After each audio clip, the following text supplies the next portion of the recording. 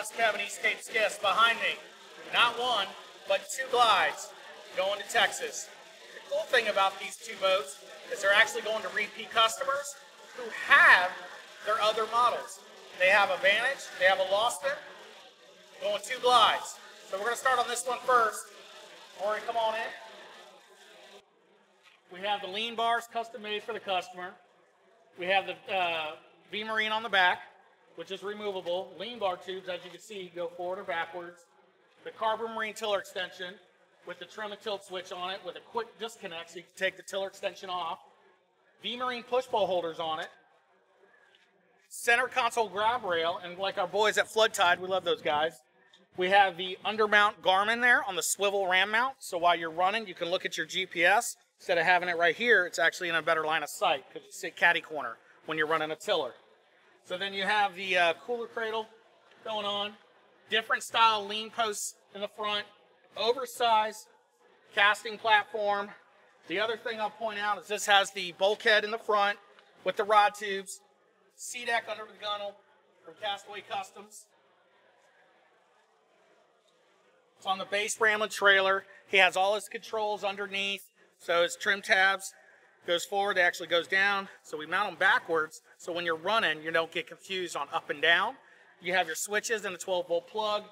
You don't know about the glide, 17 feet, 60 inches wide. It's got a, it's a bad mamma jamma. It's a little teeny skiff with big spray rails and big water attitude. Speeds with a 20, you're going to be uh, uh, in the high 20s. You will be in the 26 to you know 28 miles an hour, and that's loaded down. That's even with two guys in gear. Put a 30 on it, you go 30, but you pay the penalty in draft, cost, maintenance, and so on. So power to weight ratio, a 20 horse is a really good motor for this. Uh, for this, we also have a pop-up cleat, and we also have the removable trolling motor mount because he'll take it off of one boat, throw it on here. He's a fly fisherman. He fishes a lot by himself. He wanted to get back in those real smaller feeder creeks. And then let's jump right over here to this one. Another interpretation of what somebody calls a perfect boat for them. Another glide again, going to a repeat customer. Flush mount here for the cleat. Different style casting platform, removable cooler cradle, but instead of the full undergunnel, we did just the reel pads. He also has a dual setup underneath, so he could run a one three gallon or two six gallons and move it back and forward. He has the power pole micro on the back, which we love this unit by the way.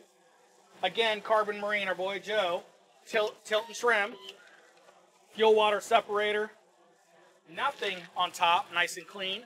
No lean bars on any of the boat. The other things, he likes to live bait fish. You'll also notice he has his trim tabs on the gunnel there. But you look underneath, you got the compression latch for your live well.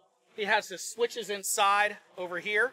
Because think about it, when you use your switch, which is for your nav lights, your bilge, let's just say your live well, you can, you know, you get to that. You don't need it there all the time. So his interpretation was, Kevin, let's just put it in the dry compartment so when I need to, I can just open it up and flip it on.